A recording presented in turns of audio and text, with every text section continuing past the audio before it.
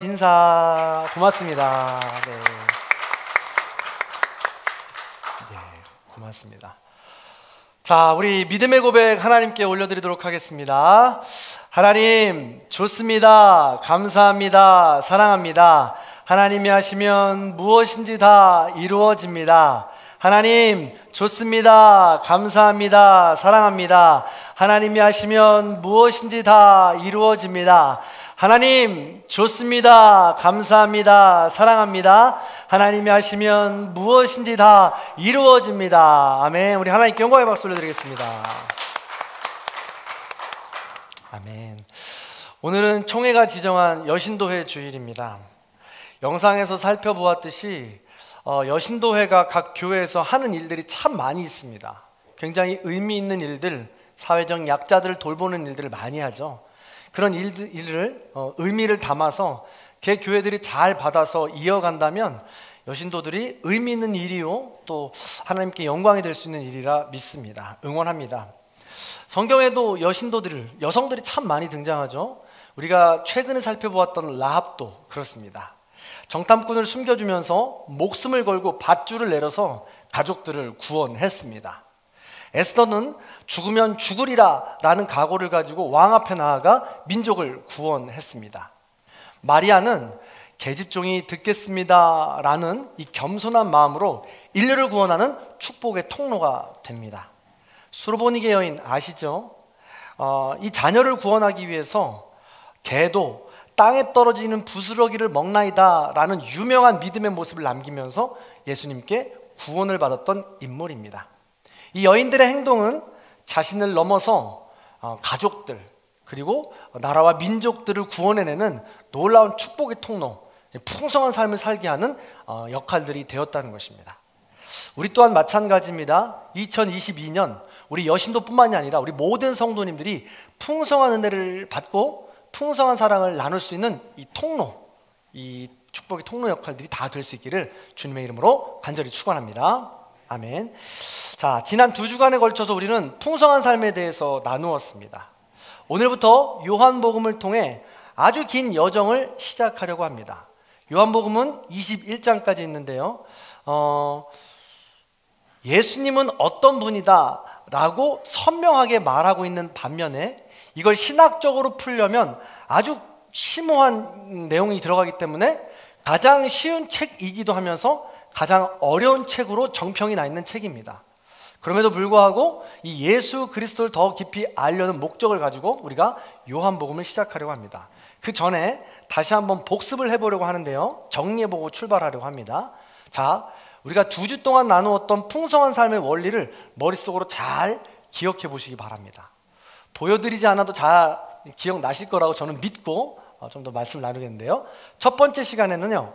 에베소서의 바울을 통해서 나눈 풍성한 삶입니다. 우리의 진짜 풍성한 삶은 가장 먼저 성령의 풍성한 삶이라고 했습니다. 그것을 통해서 속 사람이 흔들리지 않을 수 있으니까요. 그 다음에 믿음의 풍성한 삶이라고 그랬죠. 믿음이 무엇입니까? 선택이라고 그랬어요. 예수 그리스도를 선택하는 삶. 예수 그리스도를 그 이름을 내 마음속에 자꾸 새기는 것. 이게 믿음이 풍성한 삶이라고 그랬죠. 그리고 세 번째로는 성령 충만과 믿음 충만 이것을 사랑의 풍성함으로 더해야 된다고 그랬습니다. 그래야 이 사랑 갖고 뿌리를 내릴 수 있고 털을 밟는 역할들을 해서 하나님을 더 깊이 알아가는 그런 삶이 된다. 그게 바로 풍성한 삶이 된다라고 바울을 통해서 에베소서를 통해서 우리가 함께 나누었습니다. 바로 다음에 두 번째 주에는요. 베드로를 통해서 베드로 후서를 통해서 우리가 함께 나누었습니다. 풍성한 은혜가 진짜 뭐냐라고 했을 때 신성한 능력으로 하나님께서 생명과 경건을 우리에게 주셨다고 했습니다. 보배롭고 지극히 큰 약속 예수 그리스도를 주셨다고 했습니다. 그래서 그걸 받은 사람이라면 의당 가만히 사는 게 아니라 진짜 받은 사람이라면 당연히 하나님을 알아가고 예수 그리스도의 신성한 성품에 참여하는 이런 삶의 과정들을 걸어가게 된다라고 말씀을 드렸죠. 이거 바로 진짜 풍성한 삶의 원리, 이게 선순환을 계속 이루어야 된다라고 이야기했습니다. 자, 지금 이 바울과 베드로를 통해 우리가 풍성한 삶을 나눴는데 여기에는 공통점이 있습니다. 그 공통점이 혹시 무엇인지 아시겠습니까? 공통점이 뭘까요? 네, 좀만 더 크게 얘기해 주시죠. 그렇습니다. 하나님을 알아가는 것입니다. 네, 하나님을 알아가는 것. 하나님을 알아가는 것, 예수님을 모시고 그 예수님을 성품에 참여하는 것, 알아가는 거죠. 그래서 따라서 결론은 풍성한 삶은 하나님을 알아가는 것인데 하나님은 예수 그리스도를 보내주셔서 예수님을 닮아가며 하나님을 알아가라고 말씀하시는 것입니다. 하나님을 알아가기 위해선 예수님을 보고 예수를 알아가야 된다는 것이고 그 성품을 닮아가야 된다는 것이죠.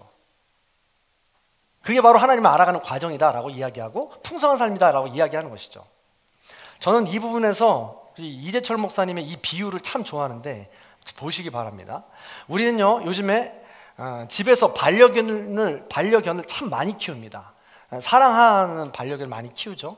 너무나도 사랑스러워서 그 친구들에게 좋은 환경을 만들어주고 보살펴주고 사랑을 나누어 줍니다. 그 친구들도 사랑받는 것을 너무나도 원해서 온갖 방법을 활용해가지고 사랑을 받으려고 노력하죠. 집에 들어가면 막 몇 바퀴씩 돌고 나 좀 안아달라고 그래서 하지 않습니까? 나 사랑해달라는 이야기 아니겠습니까? 그렇게 그런데요, 이 인간과 반려견은 이 존재 자체가 완전히 다릅니다. 그래서 아무리 내가 사랑을 하려고 해도 완전한 사랑을 서로 주고받고 나눌 수는 없어요. 다시 말해, 아무리 사랑한다고 해도 이 반려견이 주인의 마음을 100% 이해할 수 없습니다. 그리고 나도 아무리 사랑한다고 해서 반려견에게 나의 모든 생각을 100% 이해하며 전달할 수가 없어요.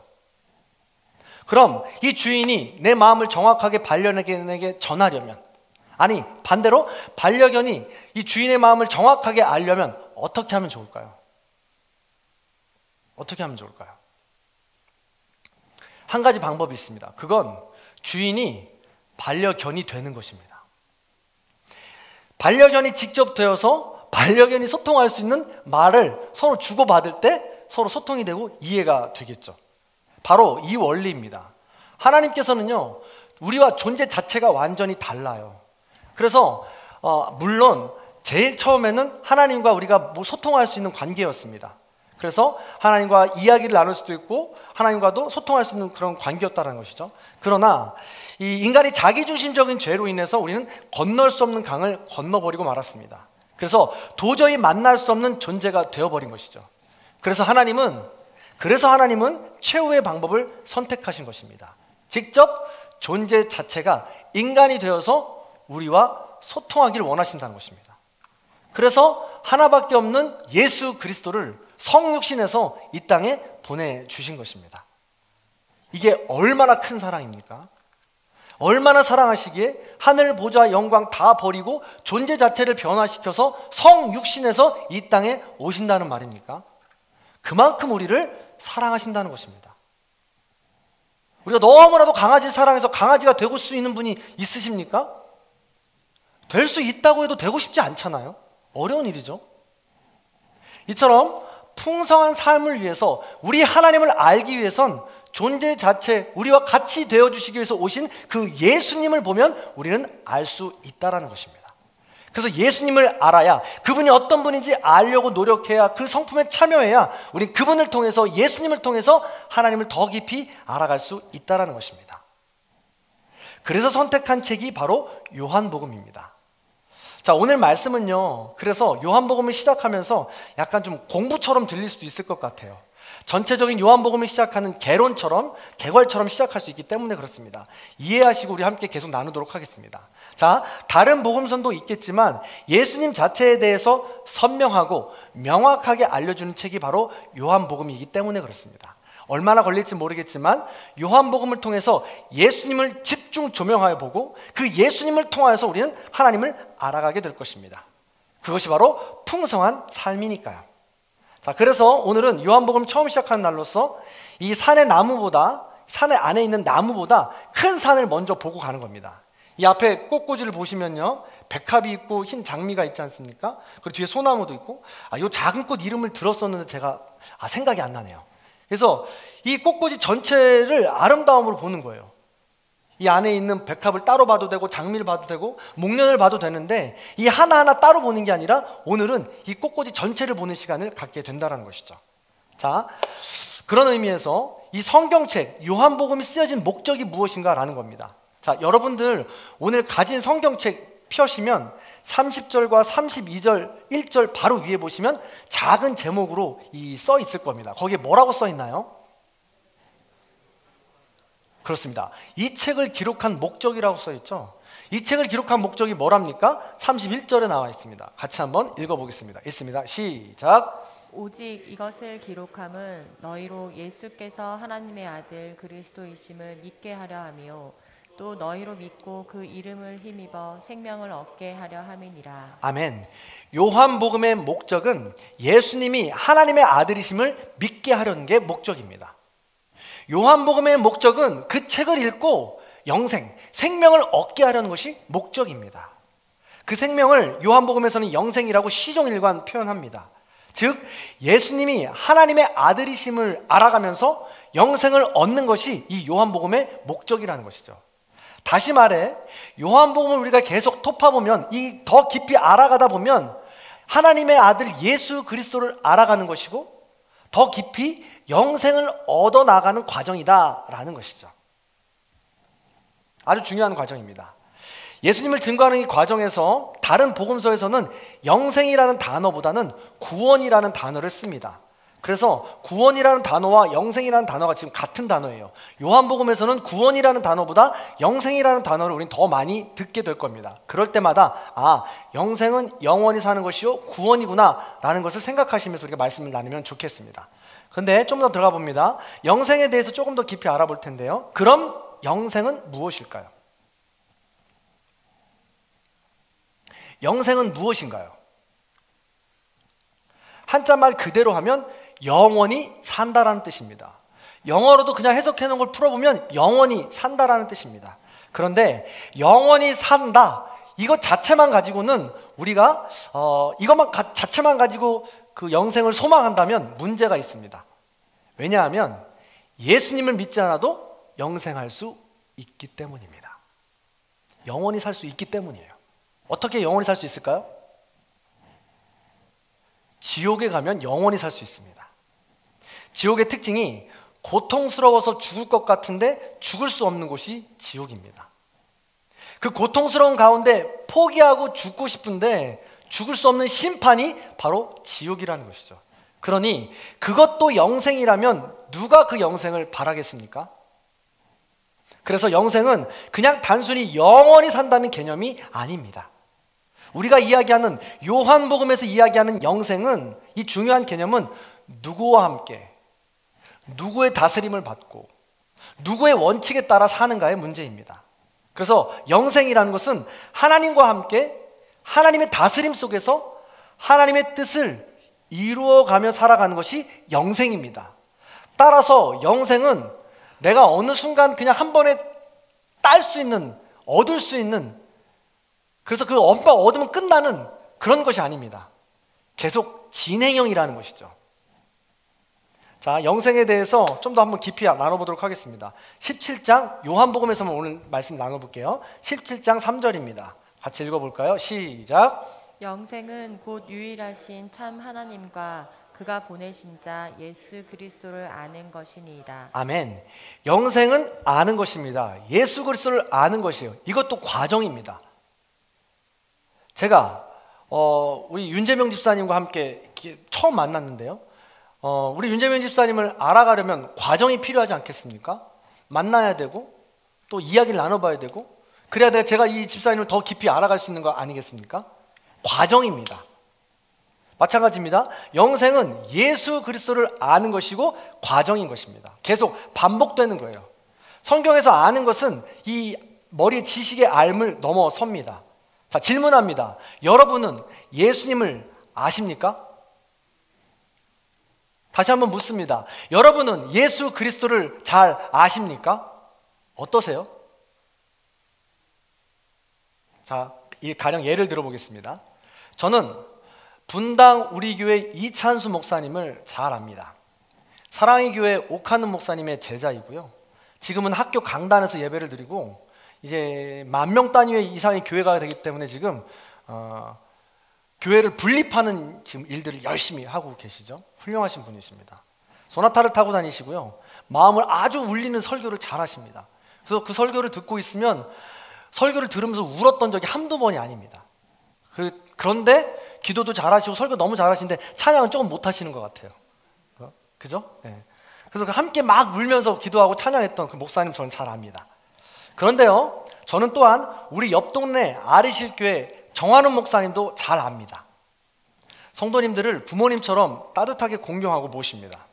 성격이 워낙 꼼꼼하고 똑똑해서 노예나 시찰에서 일어나는 모든 필요한 일들을 아주 깔끔하게 처리하는 목사님이에요. 운동도 너무 잘합니다. 테니스, 탁구, 축구 못하는 운동이 없고 덩치가 크다 보니까요. 게다가 아주 똑똑해서 운동을 그냥 하는 게 아니에요. 그냥 저처럼 아무 생각 없이 그냥 뛰어다니는 게 아니에요. 어딜 뛰어야 되고 어디서 지금 내가 가야 되는지를 정확하게 알아서 공격하고 수비하는 아주 열심히 잘하시는 분이죠. 또한 덩치가 있다 보니까 드시는 것도 얼마나 잘 드시는지 몰라요. 먹다 보면 식사를 하다 보면 배고 배부르다고 얘기한 적이 한 번도 없어요. 제 것까지 먹는데도요. 다 먹는데도 배부르다고 얘기한 적이 없어. 그리고 또 고향은 강원도 원주이고 그래서 이제 5학년 되는 두 아들 딸이 있습니다. 쌍둥이에요.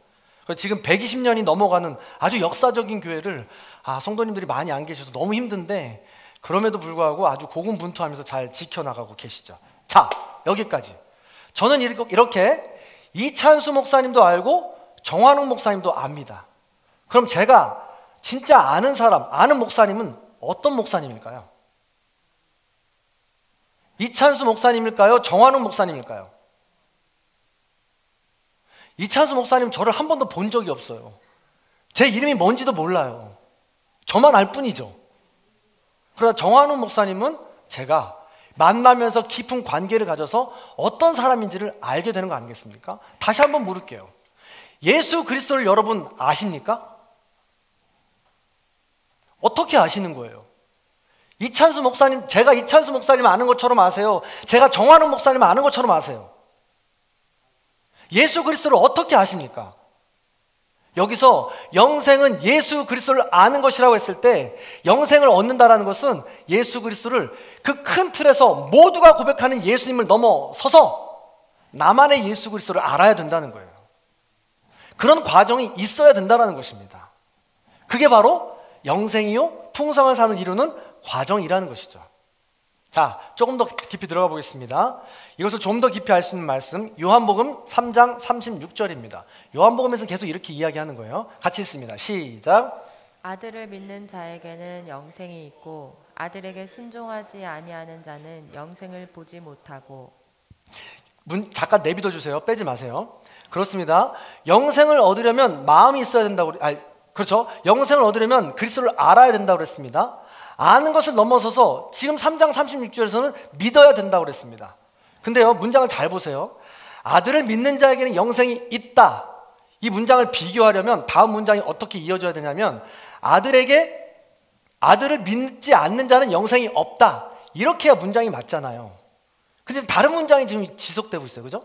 아들을 믿는 자에게는 영생이 있고 아들에게 순종하지 아니한 자는 영생을 보지 못한다. 없다라고 되어 있죠. 그래서 믿음과 순종은 같은 뜻이에요. 영생은 아는 것과 같은 뜻입니다. 믿음과 순종도 같은 뜻이에요. 이 모두가 과정인 겁니다. 영생을 얻어가는 우리의 과정 중에 있다라는 사실이죠. 즉, 어, 믿음은 머리에서 끝나는 것이 아닙니다. 말로만 끝나는 것이 아니에요. 네, 빼줘도 됩니다. 여기까지 영생을 정리해 보자면 영생은 예수님을 아는 것입니다. 아는 것은 믿음입니다. 믿음은 순종으로 행함과 반드시 연결이 되어 있습니다. 따라서 영생은 풍성한 삶으로 우리의 실제적인 삶과 밀접한 연관이 있다는 것이죠. 하나님을 안다고 하면서, 하나님을 믿는다고 하면서, 하나님을 순종한다고 하나님을 순종하지 않는다면 그건 영생이 아니고 믿음이 아니라는 거예요.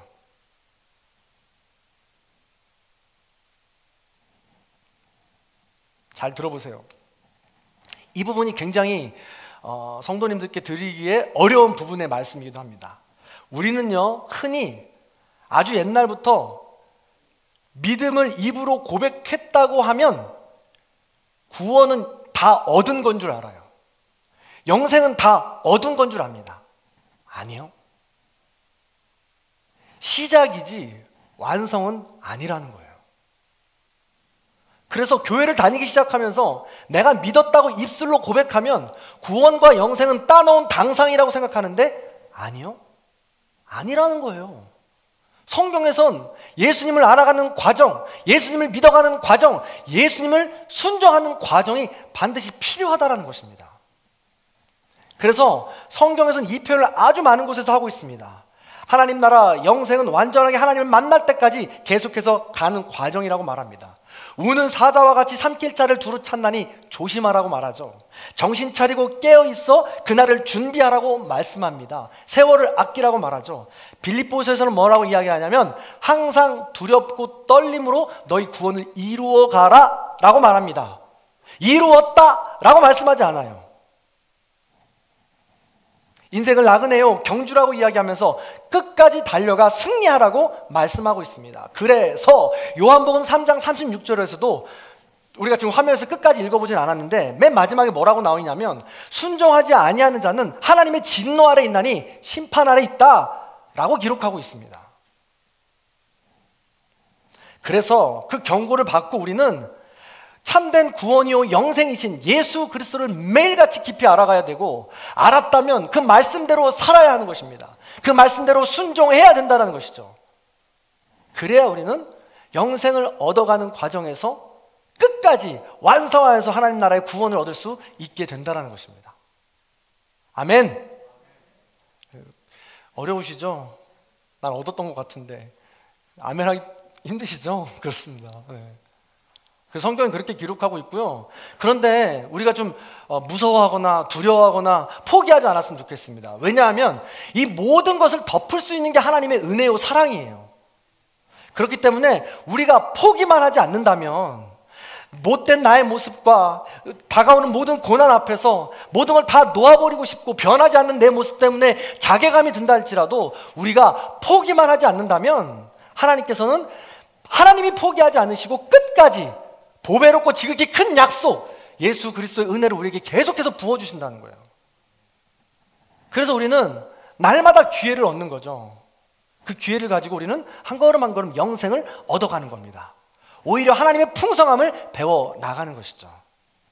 이 영생을 꼭 얻게 하기 위해서 요한복음은 계속해서 예수 그리스도를 말씀하고 있는 거예요. 그냥 소개하고 있는 것이 아니라 요한복음에서는 예수님을 상징하는 일곱 가지 신성을 이야기합니다. 그리고 예수님께서 행하신 일곱 가지 기적을 이야기합니다. 그래서 앞으로 우리가 요한복음을 읽어 나갈 때 일곱 가지 신성과 기적을 머릿속에 생각하시고 읽으시면 더 큰 은혜가 되고 도움이 될 거라고 생각합니다. 하나님께서는요, 호렙산에서 모세를 만날 때 나는 스스로 있는 자다라고 말씀하셨습니다. 이것처럼 예수님은 나는 누구누구다 라면서 일곱 가지 신성을 말씀하신 것입니다. 나는 생명의 떡이다. 나는 세상의 빛이다. 나는 양의 문이다. 나는 선한 목자요 부활이요 생명이다. 나는 길이요 진리요 생명이다. 나는 포도나무다. 그리고 일곱 가지 기적, 기적을 보여주셨죠.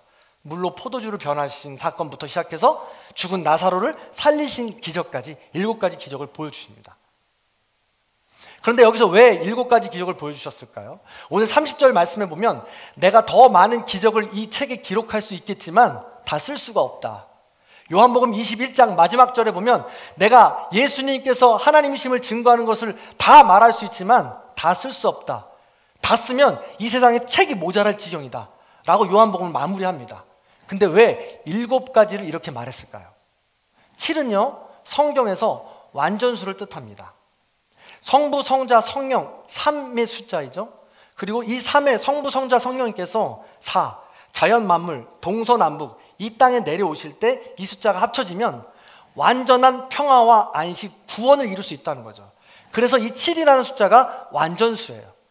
그래서 요한복음에서는 일곱 가지 신성과 일곱 가지 기적을 이야기하는 이유는 예수님이 그만큼 완전하신 분이고 완전하신 하나님의 아들이라는 것을 상징하는 것입니다. 그래서 요한은, 요한은 마지막에 내가 더 이야기할 수 있는데 완전하신 하나님의 아들이기에 일곱 가지만 이야기해 주는 거야 라고 말하는 것이죠. 그래서 우리는 이 예수 그리스도를 날마다 배워가고 닮아가게 되는 것입니다. 이 성경에서 말한 7이 쓰이는 경우는 대단히 많이 있습니다. 하나님은요, 일곱째 날 천지를 다 지으시고 완전하게 안식하셨죠. 노아의 방주에 정결한 짐승이 일곱 암수쌍이 들어갑니다. 야곱이 에서를 만날 때 용서를 구하는데 나를 정말 완전하게 용서해 달라고 일곱 번 엎드려 절합니다. 요셉이 애굽왕의 꿈을 해석할 때 기억나시죠? 일곱 소와 일곱 볕단을 해석합니다. 여호수아가 이스라엘 백성들을 이끌고 여리고성을 돌을 때 일곱째 날 일곱 바퀴를 돌고 일곱 양각 나팔을 불어서 여리고성을 무너뜨립니다. 모두 생략하고요. 계시록에 넘어오면 일곱 별, 일곱 금초대, 일곱 교회들이 등장합니다. 성경에서 왜 이렇게 일곱 숫자가 많이 등장할까요? 완전하기 때문에 그렇습니다. 그만큼 우리가 요한복음에서 나눌 예수 그리스도는 완전한 하나님의 아들이시요. 우리가 그분을 통해서 풍성한 삶으로 나아갈 수 있게 된다는 의미가 있습니다. 이런 의미에서 우리는 앞으로 요한복음을 계속해서 배워 나갈 것입니다. 어, 그러기 위해서 우리는 요한복음을 강의하는 이 올해는요, 얼마나 긴 시간을 할지 모르겠지만, 공동체 성경 읽기를 하려고 합니다. 제가 선배님께 배운 건데요. 그 교회는 어, 주일 말씀을 강의하잖아요. 예를 들면, 우리가 요한복음 강의를 시작하지 않습니까? 그럼 모든 성도님들이 공동체적으로, 아니 물론 개인적으로 필사하고 개인적으로 성경을 읽고 개인적으로 이렇게 하시는 분들이 있으세요. 근데 공동체로 함께하는 것도 큰 은혜가 되기에 공동체로 함께하는 성경 읽기가 있다는 거예요. 그래서 요한복음 강의를 시작하면 모든 성도님들이 매일같이 요한복음을 한 번씩 읽는 거예요. 요한복음 몇 장까지 있다고요? 21장까지 있어요. 길잖아요. 그래서 저는 좀 양보하겠습니다. 우리 성도님들은 그래서 요한복음 우리가 강의를 시작하면 하루에 한 장씩만 읽는 거예요. 다음 주부터 요한복음 강의를 시작할 텐데 아니 이번 시작했잖아요. 그러면 내일 월요일부터 요한복음 1장을 시작할 거니까 1장을 하루에 한 번씩 읽는 거예요. 아침에 읽어도 괜찮아요. 저녁에 주무시기 전에도 읽어도 괜찮습니다. 그러면 이 말씀이 예수 그리스도 그 말씀이 우리 가운데 새겨지리라 믿습니다. 솔직히 고백하면 설교를 전하는 저도 제가 설교한 것도 몇 주 지나면 잃어버려요. 그렇잖아요? 그래서 이것을 우리가 마음판에 새기기 위해서는 반복하는 수입니다. 그래서 같이 한번 읽어보자는 것이죠. 그리고 거기서 깨닫는 것, 혹은 거기서 궁금한 것, 그걸 한번 서로 질문해보고 나눠보는 거예요. 그래서 이 강단을 채워 나가는 것이죠. 사랑하는 성도 여러분, 말씀을 정리하겠습니다. 풍성한 삶은 영생을 얻는 삶입니다. 영생은 하나님과 함께 하나님의 다스림 속에서 하나님의 뜻을 따라 사는 것입니다. 영생은 하나님을 알아가는 삶이요, 믿음으로 순종하여 삶으로 드러나는 것입니다. 그렇게 저와 여러분이 영생을 얻어 성숙한 삶을 살아나가시기를 주님의 이름으로 간절히 축원합니다. 어느 날 하루살이와 메뚜기가 함께 놀았습니다. 저녁 무렵이 되었을 때 메뚜기가 하루살이에게 이렇게 이야기했습니다. 야, 오늘은 그만 놀고 내일 만나자 했습니다. 그랬더니 하루살이가 묻습니다. 내일이 뭔데? 야, 깜깜한 밤이 지나오면 밝은 날이 오는 게 내일이야. 그러나 하루살이는 메뚜기의 이 말을 듣고도 이해하지 못했습니다. 이 메뚜기는 어느 날 개구리와 함께 놀았습니다. 개구리는 날씨가 추워지니까 그만 놀고 내년에 만나자 했습니다. 그랬더니 메뚜기는 내년이 뭔데? 하고 물었습니다. 개구리가 대답해 줍니다. 내년은 겨울이 끝난 후에 날이 따뜻해지면 오는 게 봄이야, 내년이야. 그러나 메뚜기는 개구리의 말을 이해하지 못했습니다. 사람은 죽은 뒤에 영생이 있습니다. 그러나 이 세상밖에 모르는 사람은 영생이 뭔데? 라고 물을 것입니다. 자, 저와 여러분은 영생이 뭔데? 라고 묻는 분이십니까? 아니면 지금도 영생을 배워나가며 풍성함으로 마음속에 채우시는 분이십니까? 예수님을 머릿속으로만 알아서 영생이 뭔데? 하고 살아가는 분이십니까? 아니면 예수님을 마음속으로 알아 알고 믿고 순종하여서 내일도 알고 모레도 알고 내년도 알고 영생을 아는 삶을 사십니까? 간절히 부탁합니다.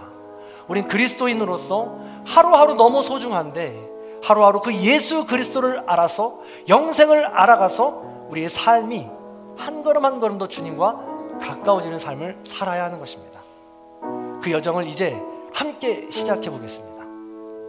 요한복음 하면 가장 잊을 수 없는 성경 구절이 있습니다. 우리 아이들까지 다 암송하는 성경 구절이 있어요. 뭔지 아십니까? 뭘까요? 요한복음 3장 16절입니다. 여기에 아주 주제가 다 담겨 있죠. 우리 함께 봉독하고 찬양하면서 말씀을 마무리하겠습니다. 같이 읽습니다. 시작. 하나님이 세상을 이처럼 사랑하사 독생자를 주셨으니 이는 그를 믿는 자마다 멸망하지 않고 영생을 얻게 하려 하심이라. 한 번만 더 해볼게요. 하나님이 세상을 이처럼 사랑하사 독생자를 주셨대요. 존재 자체가 다른데 우리에게로 오셨대요. 그만큼 사랑하시니까. 그래서 말씀하는 거예요. 내가 그만큼 사랑하니까 제발 포기하지 마. 제발 나 좀 알아줘. 예수님 그렇게 말씀하시는 거예요. 자, 다 같이 한번 한 번만 더 고백해 보겠습니다. 시작. 하나님이 세상을 이처럼 사랑하사 독생자를 주셨으니 이는 그를 믿는 자마다 멸망하지 않고 영생을 얻게 하려 하심이라. 아멘. 그 사랑을 기억하며 우리 함께 찬양하겠습니다.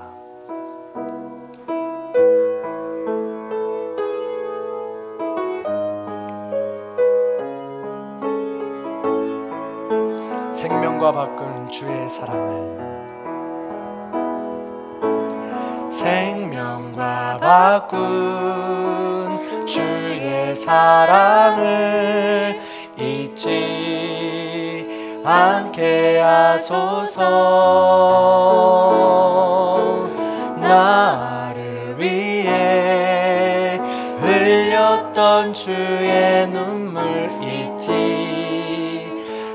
않게 하소서.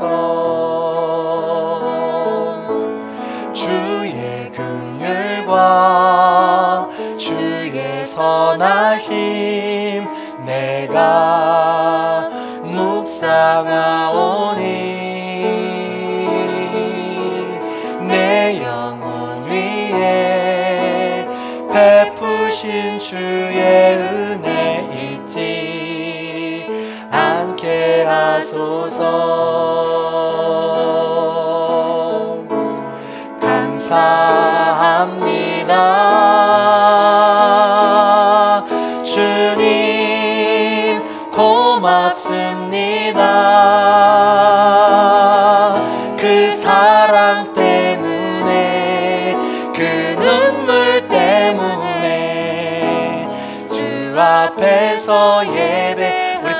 다시 한번 찬양해 봅니다. 생명과 바꾼 생명과 바꾼 주의 사랑을 잊지 않게 하소서.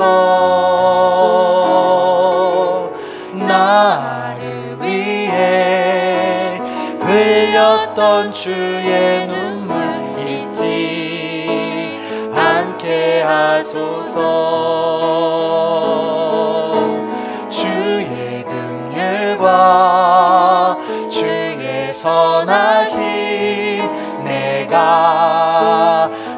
묵상하오니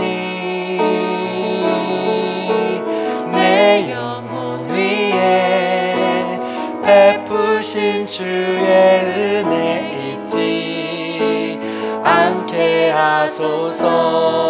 감사합니다. 감사합니다. 주님 고맙습니다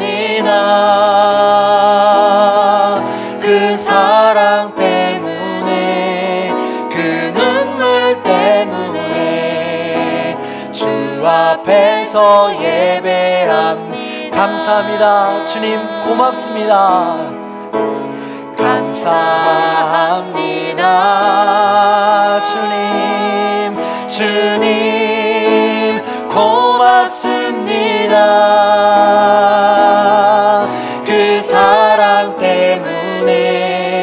그그